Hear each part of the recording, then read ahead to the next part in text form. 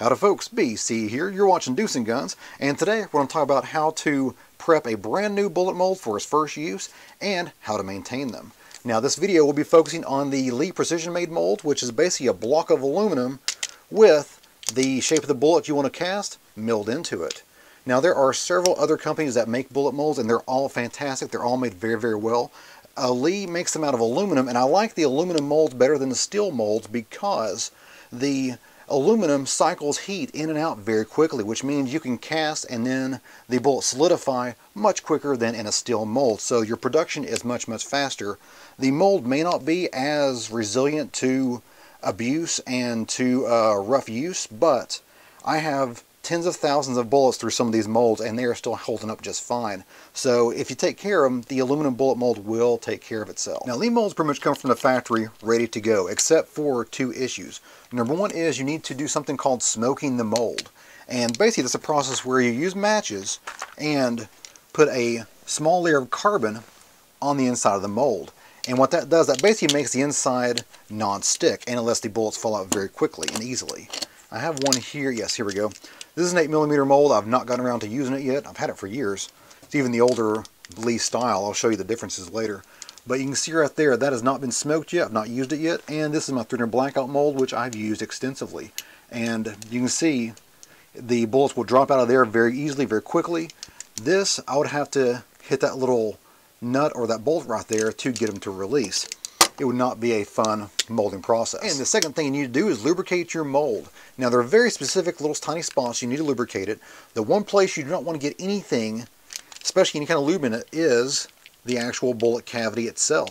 Those little cavities need to be devoid of anything but the smoking process, the carbon from the smoking process. Everything else would actually affect the bullet fill out. So you don't want to do that. You just want to put it in very specific small spaces. I'll show you that here in a little bit. So what do you lube it with? Well, there's two things that I've always used. Number one, this is actually some bullet lube, cast bullet lube here, and it's actually just beeswax. There we go, you get a little up close personal there. It's beeswax, and you can use beeswax candle or whatever. Any kind of old beeswax will do. Um, I've heard people use normal wax as well, you know, like a paraffin or whatever. It really doesn't matter, I don't think, but the beeswax is something that actually is called for by uh, Lee. Also very popular and something I've always used is synthetic two-stroke engine oil. Alrighty folks, I brought you up close personal to the Lee bullet molds and the bench here.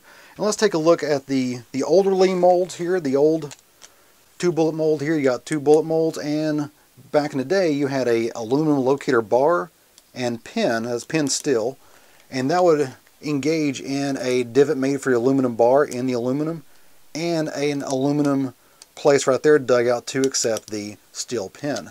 And that worked fine, but they did wear out eventually. And Lee has improved that now using a steel pin and locator system that lines everything up very, very nicely and is much more robust. They've also made it a little lighter there. You can see they mill out a lot more aluminum on the sides than they used to. If you really want to produce a lot of bullets at once, you're going to want to get a six bullet mold from Lee. Now these, they only offer these in their most, most popular brands and most popular calibers and weights and styles. But if you shoot 9mm or 40 or 45 or 38 or something of that nature, you will be able to find a 6 bullet mold and produce bullets like gangbusters. And this thing, this is my 9mm mold, it has really survived quite a bit of use there and is still going strong. Okay, the smoke and mold, all you need to do is open it up. This is already pre-smoked, but I could use another smoking here. And just grab your matches. You're going to want to grab a couple of matches here, two, three, whatever. There we go. And you're basically just going to smoke them up. See all the all the smoke there. And there is a newly smoked side of the mold there. You can see it's a very nice even distribution of carbon on there, basically making the mold non-stick. And go ahead and compare that with the older side that's not been, it has been, been smoked, but not recently. And you can see it's starting to wear away and is not nearly as even as the other side. And now in order to actually lube up your bullet molds here, go ahead and start off with the synthetic. We'll demonstrate that first. Just take one of these matches that you have already burned up. So you want to lube the hinge, just a bit of drop there. get some more, and then put a drop behind the hinge on the sprue plate. Now some people like to put a little bit on top here and that's fine as long as you don't get it inside the bullet cavity. If you want a little bit of lube to help the sliding of the sprue plate, more power to you. But just be aware that you might get into the actual bullet cavity and cause havoc with your first couple of bullets being molded. Now you also want to lube up the pin, the actual hinge on the handle itself because these actual mold halves are they're loose and they're loose for a reason so then the actual two halves of the mold will locate each other automatically with very little resistance so they have to be loose in order to do that so you need to go ahead and lube up both those hinging points as well and that is it for the two bullet mold the six bullet mold same idea. Same idea. Basically, you want to take care of all the hinge points. Now, if you look closer, you'll see that I actually have used anti-seize on here before, and it worked fine. It did, it did a job just like it should have, but the two-stroke engine oil worked better. And you put some here, some right there, some on this little hinge pin right here for the sprue cutter.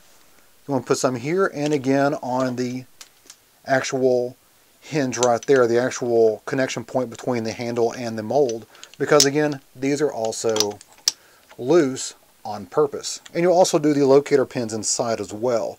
So you can put a little lube there on a locator pin, same thing back here. And on the two bullet mold, you also want to put a little bit of lube on the locator pins as well on the inside. And if you want to use the beeswax instead of the synthetic uh, engine oil, then you'll have to get the mold at operating temperature. So you'll dip it in the lead, let it heat up, and then you'll just touch your beeswax to the areas, the same areas that you lubed with the two-stroke engine oil, you'll just touch with the actual wax and the wax will liquefy and basically be drawn into the tight areas that need to be lubed up anyway. So it's actually a very, very good system. You just have to heat the molds up first. Well guys, I've got a whole bunch of 300 blackout bullets to cast. I'll be making a video of that soon.